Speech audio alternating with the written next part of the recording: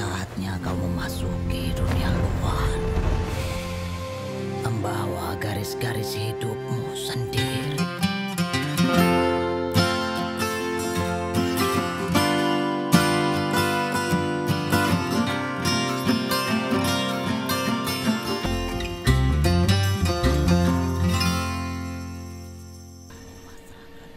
Indonesia in the 16th century, Wiro Sableng, a disciple from a mysterious warrior named Sinto Gendeng, uh, got a mission from his master to take down Mahesha Birawa, her former disciple who betrayed her.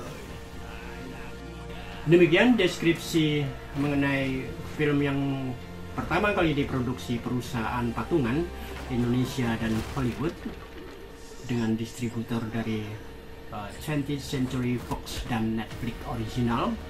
Uh, berbeda dengan kebanyakan film-film laga Indonesia, ini uh, bukan film laga abal-abal, apalagi salah satu penulis senarionya nya uh, ada tertulis tiga penulis adalah Seno Gumiro Aji Dharma yang kini adalah rektor IKJ Institut Kesenian Jakarta.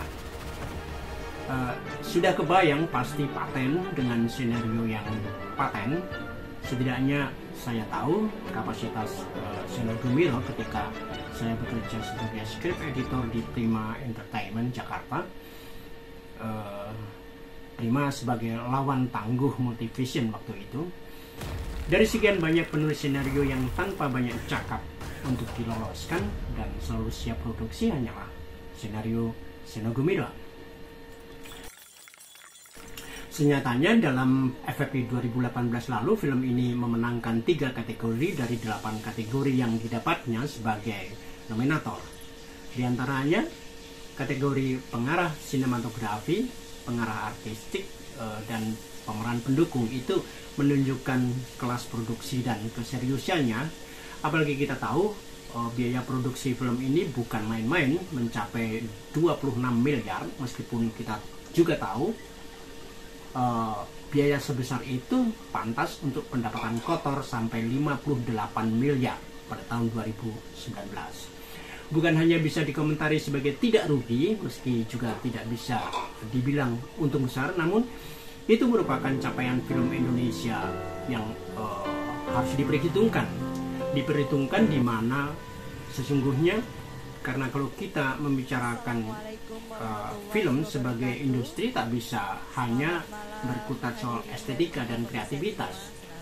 Ada sisi lain bagaimana ia uh, dari desain produksi dan post produksi yang sering diabaikan para sinias kita.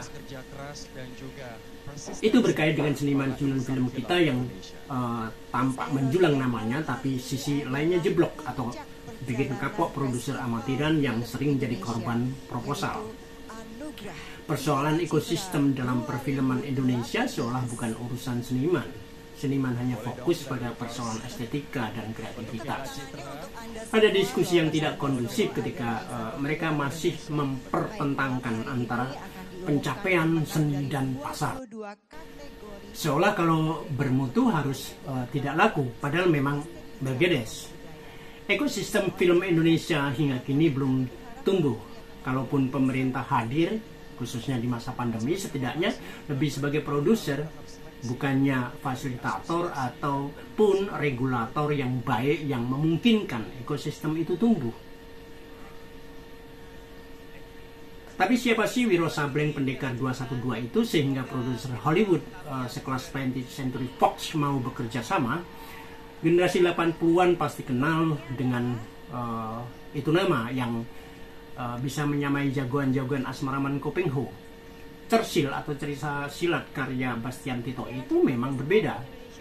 Ini tentang pendekar konyol. Uh, penamaannya saja sudah menunjukkan Wiro Sableng. Sableng adalah uh, istilah lain untuk gila, kucluk, edan, atau mungkin dengan sebutan yang lebih sopan ODGJ. Apalagi kita tahu guru Wiro Sableng bernama Sinto Gendeng. Seperti ditulis di awal, ini Churchill bersetting waktu abad 16 meski dalam film warna abad 16 itu sama sekali kabur. Tapi untuk generasi sekarang bukankah yang kabur-kabur itu sudah 2018? cukup untuk menunjukkan atau menggambarkan masa lalu kita?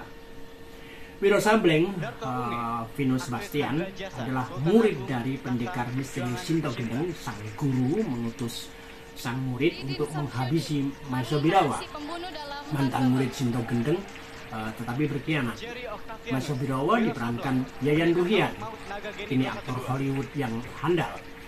Uh, terbayang uh, bagaimana kedahsyatan film ini apalagi dalam FFI 2018 film ini uh, penata efek visual terbaik meski untuk uh, pengarah sinematografi berhenti hanya sebagai nominator film ini entah uh, bagaimana hmm, dikategorikan sebagai film komedi silat atau film laga lucu mungkin karena karakter tokohnya yang uh, bernama Wiro Sableng tadi Uh, tapi ini juga mungkin karena ulah orang film yang sibuk mengkategorikan ini dan itu ketika berpromosi atau meledeknya. 18 dalam kategori Karena di film yang terbaru 2018 mereka sering ngomong yang berbeda lagi.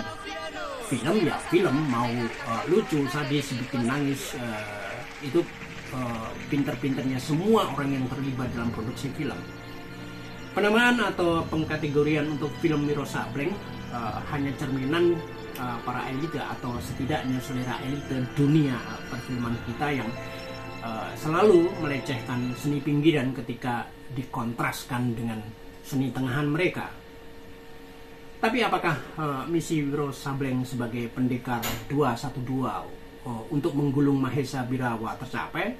Ya tentu saja tercapai karena plot film ini sebagaimana film-film cowboy western tahun 70-80-an uh, ciri khasnya uh, menulis premis di awal terus kemudian diolor-olor dengan durasi sekitar 1, 2, 3 jam untuk kemudian di ending jagoannya menang. Untungnya dalam pengeluaran waktu itu sebagai seni visual film ini tidak buru-buru amat dari sisi uh, pencahayaan, pengadeganan, penataan artistik dan efeknya sangat berbeda dengan produksi film Indonesia yang uh, acak teledor dan kurang rapi.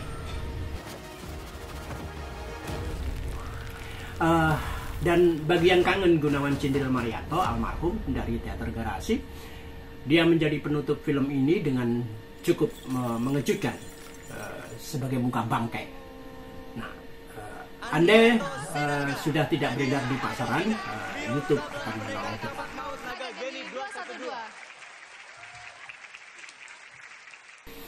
Demikian mengenai Pendekar 212 yang disebut sebagai film silat lucu, tentu karena karakter sang pendekar yang eh, namanya sudah menjelaskan Wiro Sableng, pahlawan yang eh, gila. Makanya kalau ada yang tergila-gila dengan mistik angka 212 bisa jadi ketularan gila tapi bertanggung alias nggak jelas. Apalagi sama sekali tak bisa menunjukkan di mana eh, kepak maut naga geninya atau eh, ikutan minum tua atau tidak. Kalau cuma berhenti pada angka 212 doang bisa dipastikan pendekar abal-abal meski tidak kalah lucu.